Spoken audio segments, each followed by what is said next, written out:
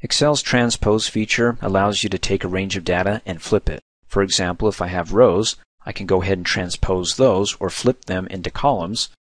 So instead of the row labels being over here at the head of the rows, they'll now be at the top of each column down below, and vice versa. If I have two columns or three columns and I select the range there, I can go ahead and copy it and do a special paste that will transpose the data into rows. For example, let me go ahead and select my first range that I want to flip or transpose. Come up here on the Home tab to the Clipboard group and click on the Copy button, or you can just do the shortcut key Control C, and then go ahead and find an area that you can go ahead and flip it into. Now, since it's going to be transposing from rows into columns, I want to make sure I have some space, whatever cell I've selected, below.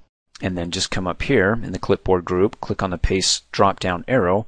We're going to do a special paste here. It's under the Paste category or group here, and it's right there.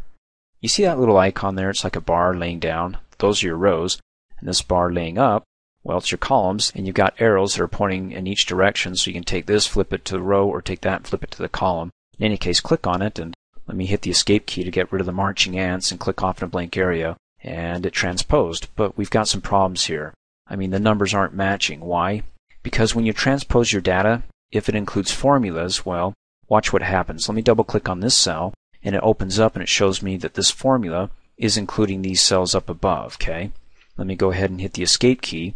Now it copied the formula and it transposed it over here, so if I double click here, instead of going above, well, I wish it would have stayed in this range here, it actually shifted and transposed it to go from left to right and adding up in rows. I mean, far away from where we originally had it. In fact, let me hit the escape key, and you can see that as I double click in each one of these uh, formulas here, it's going to be row by row how it transposed the formula and where it's looking to add up that range of cells. Double click here, there's the next row, double click there, and so on.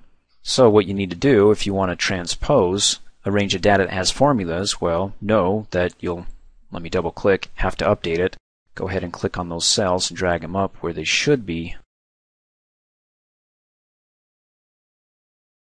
Should be adding up the month of January for all the employees, and when we're done, hit enter, and 741.49 matches. And then we have to update all the rest. And this works vice versa. If you have columns here, 2, 3, or 4, you can go ahead and select those and transpose those into rows. In fact, let's do one that doesn't have formulas in it. These have formulas. I'm just going to go ahead and let's select this range here and flip it into rows. So let me go ahead and Control C on the keyboard to copy and then let's come down here and click in this cell. And then keep in mind, of course, it's going to transpose into rows. So we're going to go from left to right. Make sure you have enough space over here for all the data that you're going to be transposing. And then come back up here in the clipboard group, click on the paste drop down arrow and transpose. Click off and hit the escape key.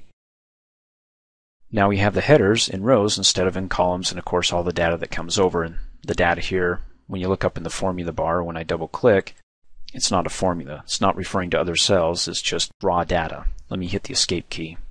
Now transposing your data only works when you're copying. It doesn't work when you're cutting. For example, if I go ahead and select this range again, come back up here, click on the pair of scissors, and then click on the paste drop down arrow, uh-uh, you only get simple paste. You don't get to transpose your data. Thanks for watching. Hey, as a quick reminder, if you like my video, please give it a thumbs up. You can also click on me and subscribe to my channel, get notified of the latest videos, and for only $2 a month, you can have access to all my Microsoft Office training videos.